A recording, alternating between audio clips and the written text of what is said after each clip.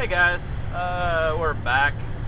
Um, cut it off there just before the weigh station and uh, decided there really wasn't much interesting until I got to Indianapolis, so uh, here we are. About ready to hit the uh, 465 loop around to the top side of Indianapolis, and then uh, we're going to take 31 north um, from there.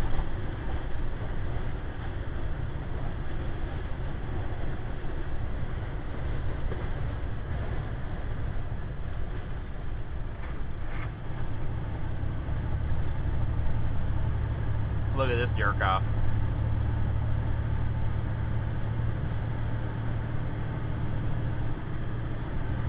Talking on the cell phone, missed the on ramp.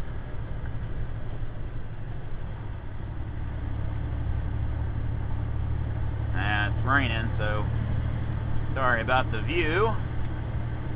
It's been uh, raining sporadically.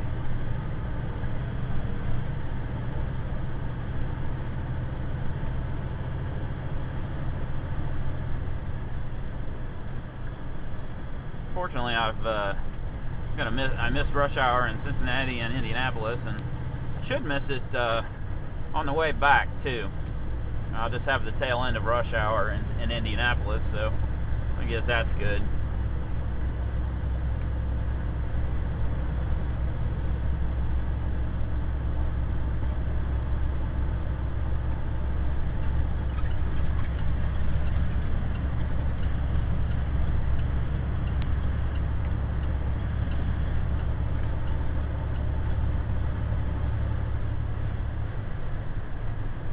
You got to be careful around the loop on Indy. Uh, sometimes uh, there's pretty heavy police presence. Speed limit is 55, which is kind of ridiculous. I mean, nobody freaking does it anyway, including the cops most of the time. But uh, every once in a while, they'll just they, they put a lot of cops out on the loop. Quite frankly, I think they'd be better off to just raise the speed limit to 60 I suspect there'd be less accidents.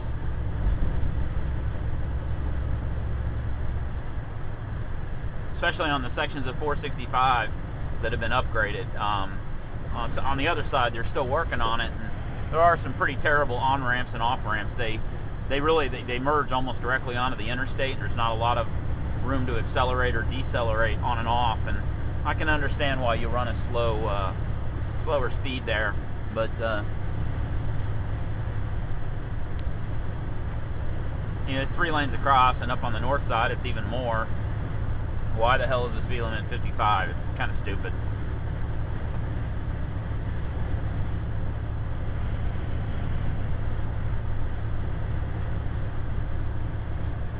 So, um, iTrucker.com. I'll have to look that up. Says use your phone. iTrucker.com.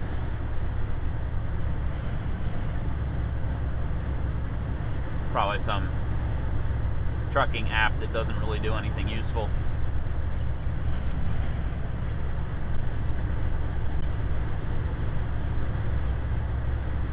For you guys, uh, this weekend is the big uh, Midwest Truck Show in Louisville, Kentucky. Um, probably not going to go myself. Um, we went a couple of years ago, and the um, it's a lot to see, but man, that, that arena, wherever they have that, I think it's Rupp Arena, or I, I can't remember the name of the place, but it is really broken up, and we found it found it hard to figure out how the hell you get in and out and where to park, and it's it's it's kind of disorganized, but it's just so big.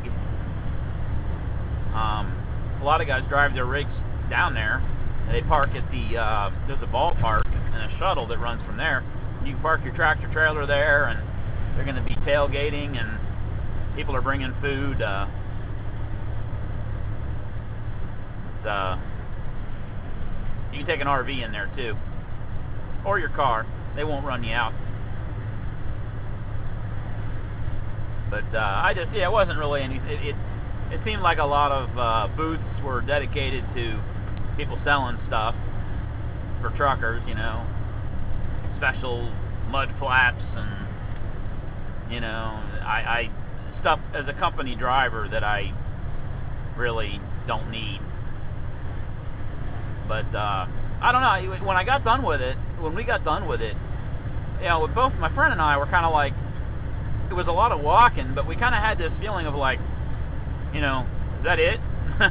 was there anything else? It, it it almost felt like we missed something, and afterwards I started thinking thinking that maybe we did, um, because it's like a million square feet or more, and um, I started thinking maybe there was a section of the show that we didn't know about because we never we kind of got in a back doorway, and I don't think we even paid to get in.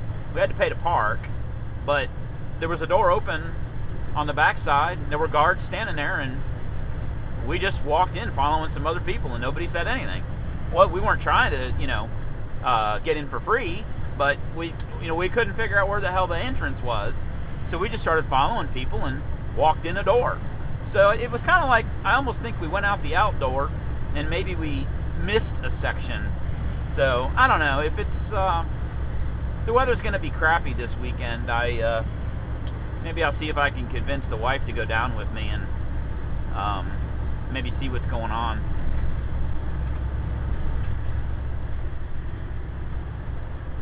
Alright, I'm going to hop over, over a lane here while I can.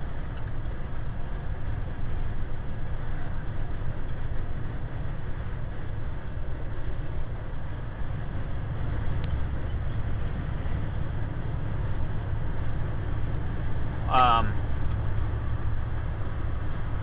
what I'm going to do is, uh, right about the time I get up to 31, I ought to be right about the right time. I'm going to shut the video off and then I'll start again. I'll start it again when I get into Rochester. See, that way you kind of see, uh, you know, leaving Cincinnati, Indianapolis, and uh, and then coming into Rochester. But uh,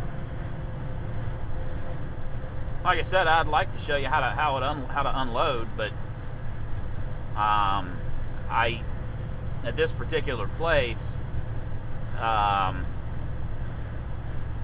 I, I'm going to be in plain sight, and I I'd really rather not unload with people looking because if somebody were to call, you know, and say, hey, it was you know videoing and not paying attention or whatever, and um, also, it takes about an hour to unload, so I'd have to break it up um, and edit it because you know, a lot of the time I'm just sitting there, standing there watching the gauges, um, you know, and then you got to adjust something every once in a while. So it would be kind of a hard thing to show you without taking up an hour of your time or me having to do some very heavy editing, which, as I mentioned before, I don't really have the time for.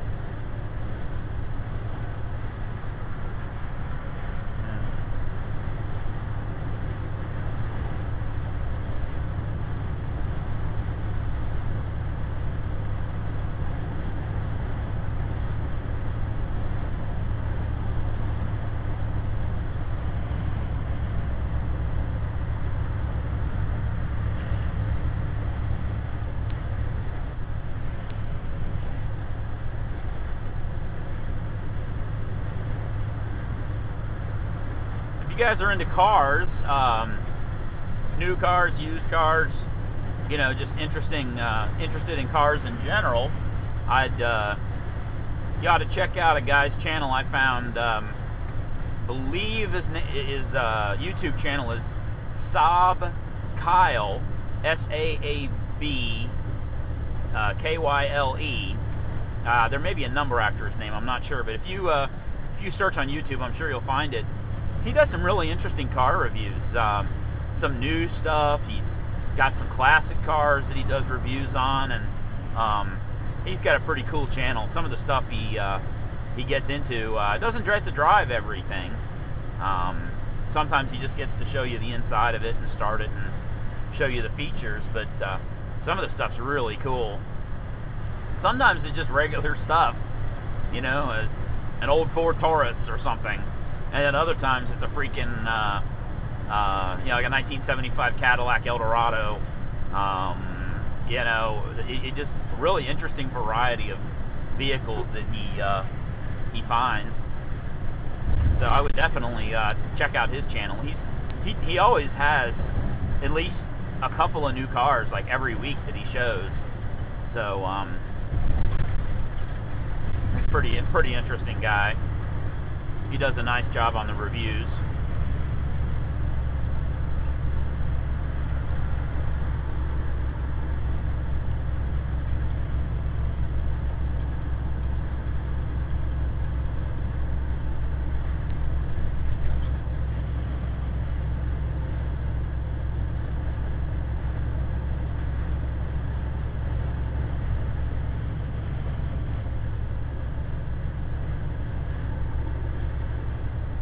Guys. Um, I think I might pause this here. Um, I'm already at 10 minutes. Like I said, I've got extended time on YouTube, but I don't know how much. And um, it's going to take me. I'm kind of worried about running out of uh, space on the camera, and I definitely would like you guys to see Rochester that's probably more interesting than uh, driving along on 465. So I'm going to stop it right now. Basically, I'm going to continue around to the north side of the city and take 31 north, which is directly north of the city, and, and follow, take that through uh, Kokomo. It's about an hour and a half drive uh, north from there. But uh, I'm going to stop it now, and uh, I'll see you guys in a bit. Bye.